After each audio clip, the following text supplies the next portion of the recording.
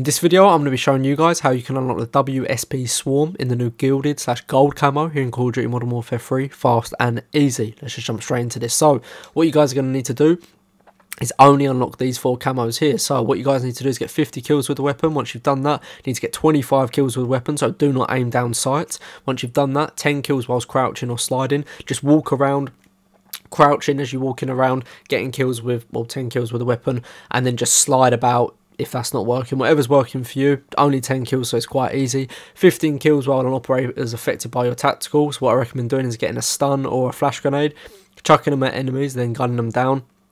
For these, I do recommend playing Shipment or Rustman, whatever you guys can play.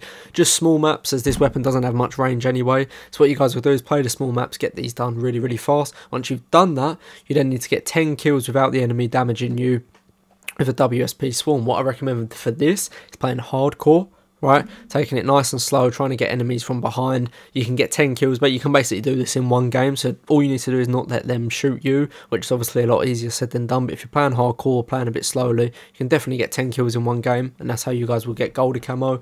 Sorry, gilded camo on this weapon. Thank you guys so much for watching. Hopefully I'll see you in the next one.